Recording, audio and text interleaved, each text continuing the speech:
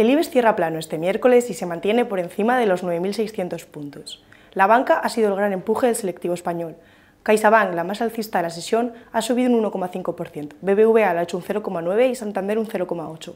Ferrovial no ha corrido tanta suerte. A pesar de que VS le ha mejorado la recomendación, ha cerrado en rojo con una caída del 0,2%. Más allá de España, las grandes protagonistas del día son Peugeot y Fiat Chrysler.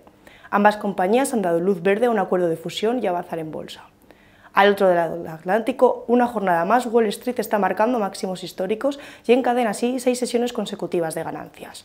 Aunque también hay protagonistas negativos. FECDES ha anunciado su segundo Profit Warning para 2020. Al cierre del mercado europeo, la compañía de, de mensajería se deja en el parque un 9,8%.